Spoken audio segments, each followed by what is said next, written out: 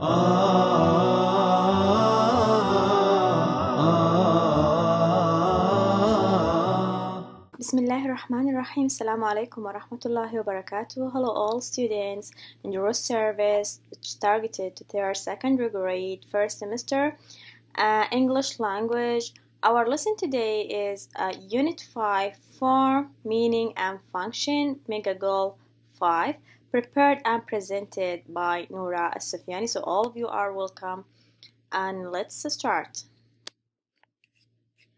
We'll learn today words connected with shopping habits and conditional sentences with present and future forms. First of all, what are your shopping habits?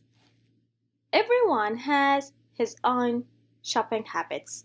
Um, for example, some people like to uh, shop from the nearest shops or small shops uh, which are near their houses. Some people like or prefer to uh, shop online, so they prefer online shopping.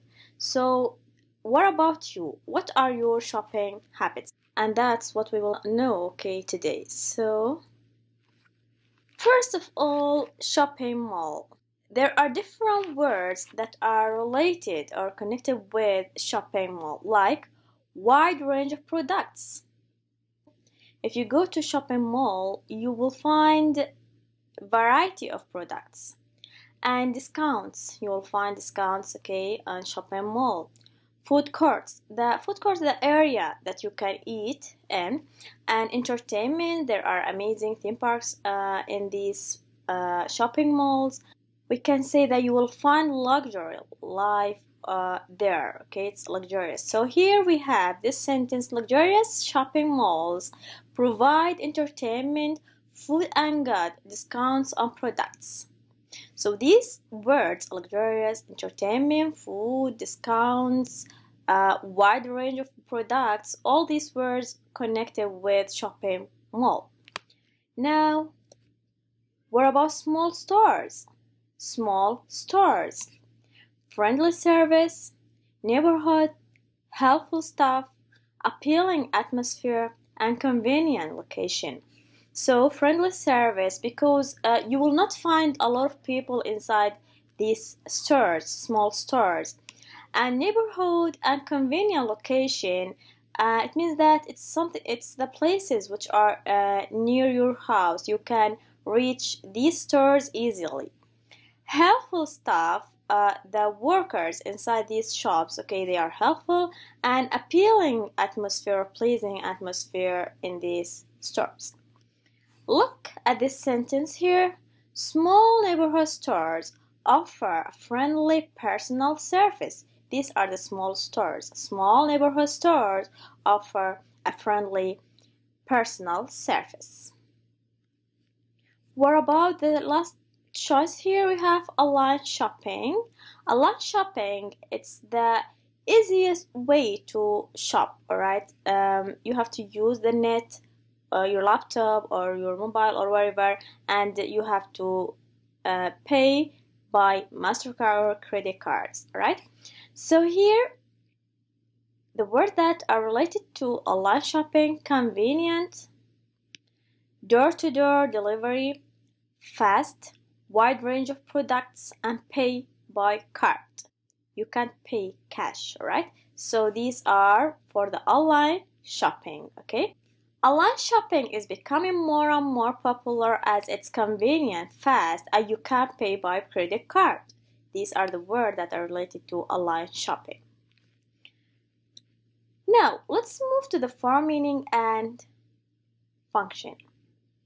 You can use conditional sentences with if to talk about causes and results. So today we will deal with the conditional sentences or if clauses uh, to talk about causes and results. Here we have present facts, future facts, may I might, I'd rather, I'd prefer, and how we will use if clause in these three parts here. For example here, if you heat water to 100 centigrade, it boils. This is a fact, alright? it's a fact for so if we have a fact how can we use the verb in this sentence if you drive the BMX 300 people will notice and admire you so here it's a future fact it's a fact but it will happen in the future so uh, the structure will be different okay from the present facts number three may I might if if you haven't yet worn Planet Marker sneakers, you may not be performing to your best ability. So here, may I might, it's not a fact, okay? It's it's uh, possible, but you are not certain. So here we have to use may or might, okay? The last part here, I'd rather or I prefer to talk about your preference. I'd rather go shopping. I'd prefer to stay home. I don't want to spend a lot of my money. We'll locate uh, all these in details. First of all, present facts. How can we uh, deal with present facts in if clause or conditional if? Look at this sentence. If you pick a fish out of water, it dies. What do you think about this sentence? It's fact. It's fact. So because it's a fact, okay, we have to use present form, present verb. Okay, if you pick a fish out of water, pick, it dies. So here we have to use that simple present tense in both clauses, in the cause clause and in the result clause, all right? Cause clause or if clause, okay? If you pick a fish out of water, this is a cause clause or if clause. Here we have to use the present simple tense, and here this the second part is the result clause we have to use also the present simple tense okay what about future facts? If I get free breakfast I'll get fat. This is fact okay? It's a fact all right? Uh, so here because it's a fact and the result here okay will happen in the future so here we use future tense in the result part. If I get a free breakfast, I'll get. So here in the first part or in if clause, we use the present or simple present tense. But in the result clause, I have to use future with be going to or will and the base form. Okay? Now, what about here? May and might. If they get married, they may have problems later. So here, it's something which is possible. It's possible to get married. But, okay, they may have problems later, um, but I'm not certain. I'm not certain. Using may here, it means that I'm not certain. Something which is possible. So this is the cause if they get married, the cause. The result, okay, I'm not certain about the result, okay? But it may happen. So here I use may or might. Use may and might in the result clause to suggest something is possible but not certain. You aren't sure about the result. What about here? I'd rather or I'd prefer. Use I'd rather, which means or it's abbreviation of I would rather to talk about preferences. So here it means that you prefer something. You like this more than this. This is the meaning of preferences here. I'd rather say I do it than say I gave up. I'd rather say I do it than say I gave up. I prefer to say I do it than say I gave up. So here I would rather, it means that I prefer something more than the other, okay? Let's see the evaluation here. Complete the conditional sentences. Use the present and future forms of verbs. Now, let's start with the first sentence here. If I buy a new laptop, I be happy.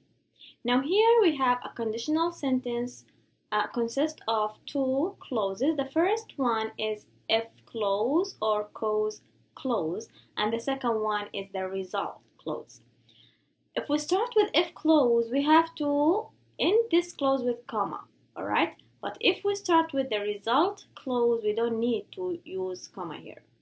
Is that clear? Now, if I buy a new laptop, I be happy. What do you think? Is that a present fact or a future fact? Okay, so it's a future fact. So here in the in the cause clause or in if clause, we have to use the present simple tense. If I buy, okay, if I buy a new laptop, I be happy. What do you think here? I have to use the present or future? Of course, I have to use I will be happy. I'll be happy. Okay, what about the second part here? But if I not get one, I need to do the assignment on my dad's computer. So here, I have to use also the present simple here. If I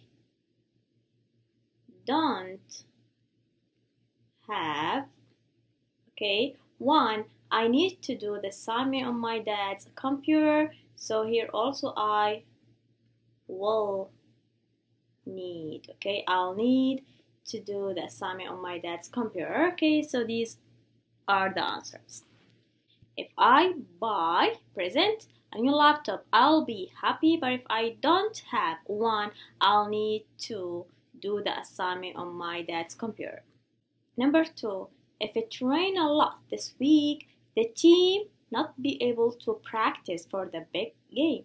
So if it rain a lot this week, the team is it a present fact or future fact? This week.